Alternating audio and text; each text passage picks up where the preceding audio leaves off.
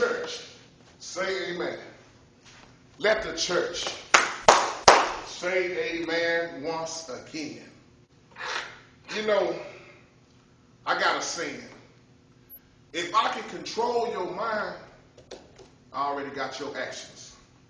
If I can control your mind, hmm, I already got your actions. You know, it's a lot of men dead because they wasn't thinking right behind a woman.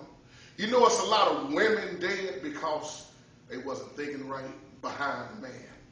You know, somebody's wife is dead, somebody's husband is dead. And when I say this, if I can control your mind, I already got your actions. You got a lot of preachers in the pulpit. Mind controlling. I know now we know well can a person really get into your mind that deep? I'll let you answer your I'll let you answer that question on your own. Because I want to tie this in with King Solomon, David's son at the time. The man who had all the wisdom, all the wealth. And God was so pleased with that that he blessed Solomon so hard. You'll read that Solomon was one of the wealthiest men, but he let them women control his mind at the end. Oh, yeah. And God warned Solomon. Hmm. See, he had wisdom, but he still had a little stupidity in him, didn't he? See, when you're dealing with that many women, me and I hope y'all listening in this video, he had a thousand wives. Hmm. Thousand women, let me say that right. He had 700 wives and 300 concubines. And when you deal with wickedness, see, some of those women was dealing with idolatry, so the mind control.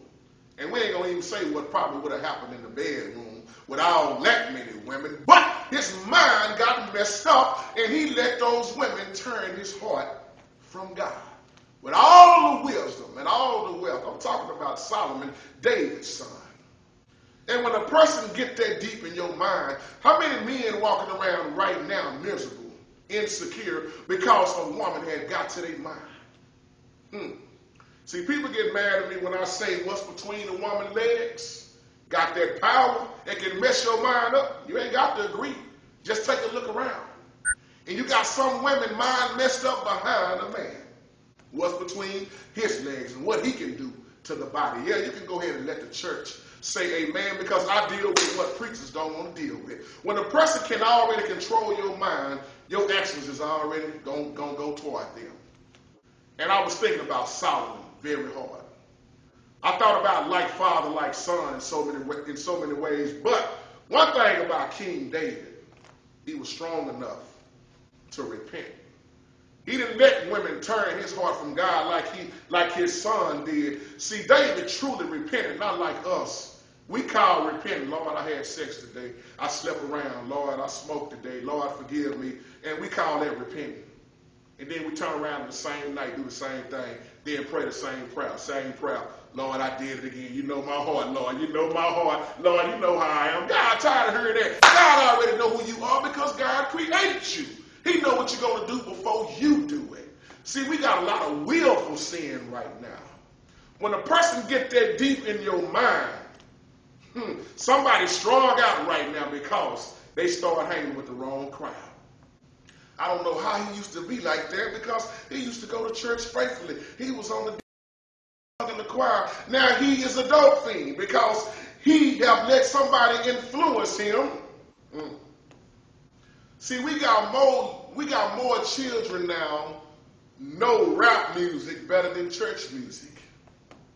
And I'm not, see, many man, that's why I failed you in that video. I'm not gonna stay, I'm not gonna stand up here in the church and say everybody in secular music is serving the devil. No. Because everybody in the church ain't serving God. Uh-oh. Let me say it again. Everybody in the church ain't serving God. Everybody ain't singing to the Lord. See, we putting so much in, so much emphasis on sinners now that we only act like sinners are in the world.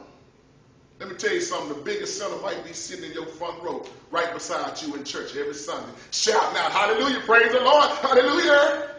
Might be the one that's worse than the ones that they talking about. See, when a person digs into your mind and can control your mind, and you wondering, why am I acting this way? I can't, I can't control my actions no more because I gotta go see her. I got to go see him. I'm so far gone hmm, that I, I can't get back on the right track. How is it you let somebody control your mind? Or can they control your mind? That's the word for the day and the question for the day. Can a person control your mind? It's not a trick question. I just want to hear everybody's feedback because I heard a lot of debate about this. I'm not trying to debate. I'm not. I'm not. I'm I'm gonna just say it like this: Can a person control your mind? Can they or can they not? Now let's flip that question around. Can the devil out of your mind? I think we all know the answer to that. But I'm tying this in with my older video because I want to talk about transferring these spirits. They're sleeping around these demons, these demonic spirits, these, these spirits that's flowing inside of folks, because nowadays folks will sleep with each other and they don't even have to know them at all. Who are you sleeping with? Mm. I think it's an old movie called Sleeping with the Enemy. Let me tell you something. Anybody you sleeping with outside of who God told you to be with, you are sleeping with the enemy. See, we want to we want to sit here and act like things ain't going on, but they going on. So when the person control your mind, or can they get into your mind? They can control your actions. They already got you. You ever wonder how a pimp can pimp hoes? Hmm. Or some like to say whores, wars, however you want to say it. How can a pimp get a woman on the corner to sell her body, knowing that this woman is taking a risk with her life?